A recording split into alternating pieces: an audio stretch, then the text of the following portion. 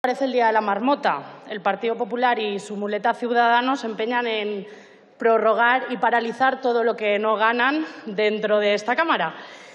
Paralizan todas las demandas sociales, hoy ha sido la ILP de la PA, también en otras ocasiones los estatutos autonómicos, también la ley LGTBI en su momento, y no podía ser menos la derogación de la LOMCE. El día de la marmota. En fin, otra vez hablar de la LOMCE, una ley que no quería ni el profesorado, ni el alumnado, ni las AMPAs, pero que PP y Ciudadanos se empeñan en que no se derogue.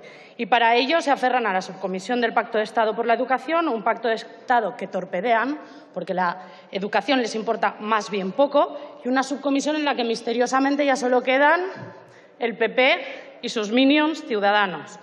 Y señora Heredia, decía antes que prohibir el matrimonio podría asegurar el, futuro profesional de muchas mujeres.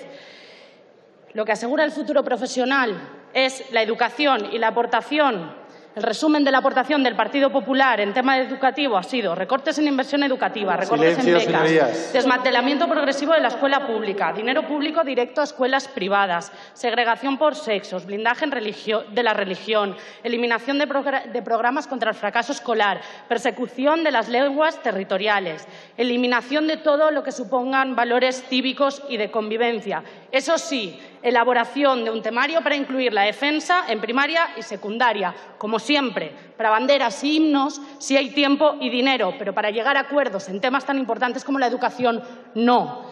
Cuando hablamos de trabajar para tener una educación pública, gratuita y de, y de, calidad, entonces se alían con su muleta ciudadanos para que esto parezca el día de la marmota. Gracias. Muchas gracias, señora Sorlí. Por el Grupo Parlamentario de Esquerra Republicana tiene la palabra el señor Oloriz Serra.